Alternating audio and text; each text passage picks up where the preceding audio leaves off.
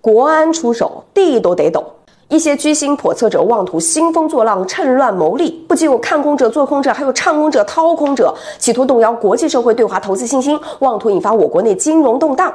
这段话是谁说的呀？出自于国家最高安全机关国家安全部在十月二号发表的一篇文章。之前我提到啊，最新的中央金融工作会议上有两大重点，一个是定调了金融强国，二是化解风险。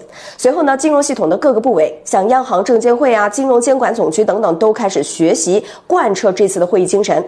那这次国家安全部发文，其实也跟金融系统的各个部委一样，学习贯彻。但是呢，鉴于国安部的特殊身份，这次有不少值得挖掘的信息。首先呢，来看一下作者安平，这种呢通常是笔名，就会有点类似于人民日报的任仲平啊、国际平啊等等，它属于是谐音，代表的是国安部官方的声音。其次呢，文章里提到了金融是国民经济的血脉，金融安全是国家安全的重要组成部分。同时呢，金融和风险始终相伴。然后举了一些其他国家的例子，就是由于金融风险和金融危机不把控好，导致经济长期衰退，多年的社会发展成果和社会财富毁于一旦。像次贷危机、欧债危机引发的全球金融风暴，搞到很多国家经济失速、金融失信、社会失衡、民众失业。从这些表述来看的话呢，国安部门是已经把维护金融安全当成了重点工作任务之一了，要坚决防止咱们中国成为文章中所列举的那些国家。在举了广的案例之后呢，接下来又说了一下现实的情况。文章里说，目前经济金融风险的隐患仍然较多，个别的国家。把金融当成了地缘博弈的工具，屡屡玩弄货币霸权，动辄呢就挥舞着金融制裁的大棒大打出手。这里呢虽然没有点名，但相信大家都知道说的是谁啊。然后呢，文章接下来还说了一些居心叵测者妄图兴风作浪、趁乱谋利，不仅有看空者、做空者，还有唱空者、掏空者，企图动摇国际社会对华的投资信心，妄图引发我国内的金融动荡。注意这两段表述啊，前面说的是大国之间的竞争和博弈，后面这段则是针对某些团体和个人了。唱空、看空属于动动嘴皮子，做空和掏空则是已经行动了。本来呢，金融市场上有买有卖很正常，如果都是一致性的意见，那就不会有成交了。但是在目前这个形势下，凡涉及到这四大空的人，接下来可能就得注意一下力度，掌握好分寸了，尤其是做空和掏空的。那说完了现状之后呢，就是具体应对了呗。在文章里面说了，国安部将会与各地区各部门一道，牢牢掌握维护金融安全的主导权和主动权，要把防范化解金融风险放到更加重要的位置。对于金融领域的国家安全风险，密切监测、准确预判、有效防范。从央行、证监会等等的金融监管部门，再到国家安全部门，都迅速对于金融安全工作做出了部署。那接下来可能就是具体的行动了。站在目前这个市场，可能作为参与者需要拎清楚一点了，就是有的钱呢，的确属于可以赚，但不能赚的性质了。在咱们的历史上有太多的案例了，比如说像黄首富啊、徐舵主啊，因为有的钱，即便你赚到了，也不一定能花。在股民们的质疑声中，浙江国祥的 IPO 被紧急叫停了。质疑它什么呢？主要有三个问题。第一。为啥同一个资产多次上市，韭菜到底要割多少轮呢？这个浙江国祥的资产原来就是已经上市的国祥股份的一部分。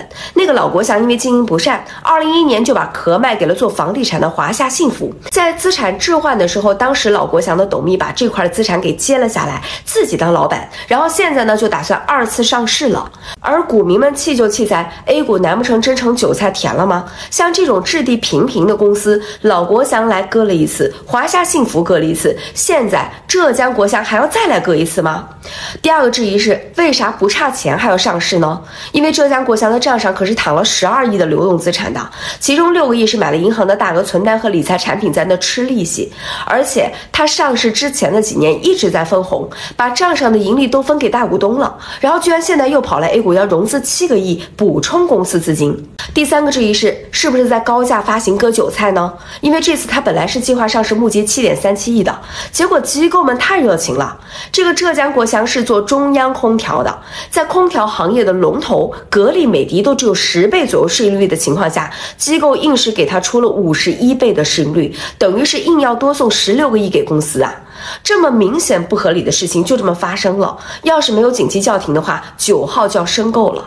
所以问题的根源在哪里呢？明明不差钱的公司都要跑来上市，我想主要是因为利益太诱人了吧？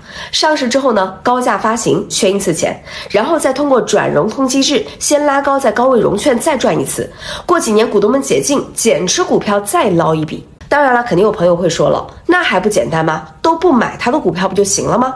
其实没有那么简单。咱们且不说散户们有没有那么团结，就说在询价的时候，保险公司平均报价七十三点九五元，公募基金的报价是七十三点三五元，都比实际发行价高了百分之十。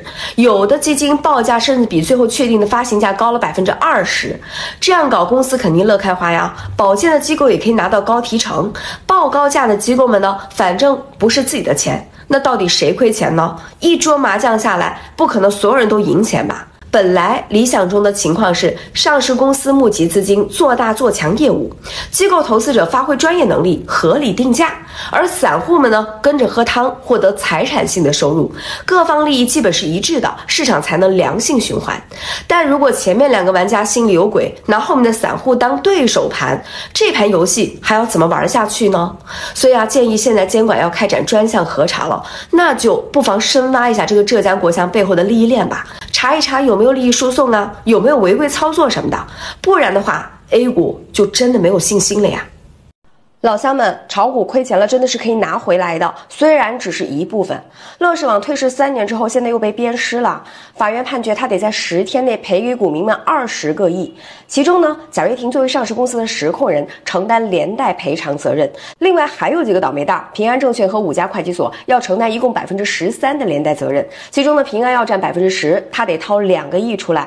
所以呢，之前买过乐视并且亏了钱的老乡们，赶紧去券商查一查自己是否符合资格。哪怕就是能拿回亏损的一部分都好啊！乐视网造假上市的事儿大家都知道，贾老板当年玩得很呐，坑了散户，坑了机构，坑了明星，还坑了老乡孙宏斌以及上游的 N 多供应商，可以说是把能坑的全坑了。不光给股民造成了巨额的亏损，他自己都是背了一屁股的债。但是呢，债多了不愁，虱子多了不痒。记不记得有一年的春节，其他的 app 都在号称自己能给大家瓜分多少亿，结果乐视网直接把 app 的图标改成欠款一百二十二亿，这波子自嘲直接抢走了所有的风头。后来呢，证监会给他开了两点四亿的罚单，结果乐视网很淡定的说，不管是欠一百二十二亿，还是一百二十四点四亿，路要一步一步走，债要一点一点还，最重要的还是员工稳定，员工稳定，公司业务才会稳定，这样才不会给国家和社会添乱。总之就是一副云淡风轻的样子。那这回呢，乐视网被判要赔偿二十亿，大概率他也是拿不出来的，因为毕竟今年的半年报，它的流动资金只有五个亿了。不过呢，虽然乐视网没有钱赔，但是保荐它上市的平安证券跑不了。这次呢，法院判决平安要连带赔偿百分之十，得掏两个亿出来。要说呢，平安在保荐这个事儿上也是屡屡的踩雷，这边保荐费收几千万，那边赔偿金要掏几个亿。之前万福生科造假的时候，平安的保健费挣了两千五百万，结果被罚了七千五百万，又赔了一点八个亿，总共没了两点五亿。而乐视网造假，平安挣了保健费三千六百万，但这回不是要赔两个亿了吗？另外呢，之前蒋老板还拿股票做质押找平安借了四点六个亿，这个也成烂账了。所以呢，前前后后平安光在这个事儿上就亏了应该有七个亿了。当然了，只有狠狠的罚，才能让他们长长记性。最后啊，再次提醒买过乐视网的投资者，如果符合索赔的资格，最近就盯牢平安证券和那五家会计所吧，因为估计只有他们才有钱赔，而且赖不掉。具体怎么查呢？打电话给你开户的券商，请他们帮你核实一下你有没有索赔的资格吧。美国现在都不装了，直接耍起了无赖。三天前，布林肯强硬声明说，任何国家不得停止使用或者是废除美元，更不得大规模的抛售美国国债，否则呢，将会面临着华盛顿的果断回应。你看，美国真的是非常坦诚啊，他总是把自己最害怕的事情告诉所有的人。当然了，主要还是告诉两个美债的重要持有方——中国和日本。咱们中国呢，是美债最大的卖出方。二零一二年，中国也曾经是美国最大的债主，持有一点三万亿的美债。到如今呢，虽然还是第二大的债主，但是咱们的持仓已经降到了七千七百亿美元了，几乎是砍了一半。在过去一年时间里，就抛售了七百亿。但是呢，美债主要持有国当中，只有咱们中国在抛售，法国、英国、加拿大、日本这些美国小弟都是在几百亿、几百亿的买入，为大哥排忧解难。而日本则是美债最大的接盘侠，持有量超过一点一万亿美元，去年还又买了四百多亿。最近日元不是在疯狂贬值吗？一个月贬了接近百分之五，上周那更是加速下跌，现在一美元可以换到一百五十八日元了。虽然说日元贬值并非一无是处，从好的方面看，可以促进日本的商品出口和旅游业，但是坏的方面更多，因为贬值会使得日本在进口原材料和大宗商品时的成本增加，导致企业压力山大，只能通过涨价等等的方式来转嫁自己的成本给消费者，最后呢又会导致成本推动的通货膨胀。其实呢，日本现在手握着巨额的美债，它完全有能力采取强力的措施抛售美债回购日元，稳住自己的汇率，以防发生经济危机。但是在美国的警告下，日本可能只会减少购买，就算抛售，估计也不敢抛得太多。这个汇率的亏啊，就只能打碎牙齿往肚子里咽了。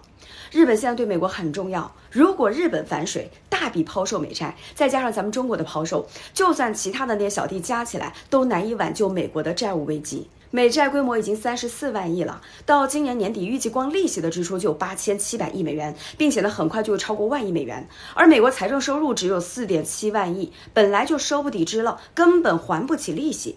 想要避免违约，只能借新还旧，但不断的借新还旧呢，又需要不断的扩大它的债务规模。而美国的小弟们也不是无限弹药呀，难以支撑美债的扩大速度。这个时候，日本如果突然抛售一千亿的美债，能一刀砍进美国的大动脉。当然了，日本不敢这么做，它大概率会尽可能的帮助美国撑到下一次的降息周期。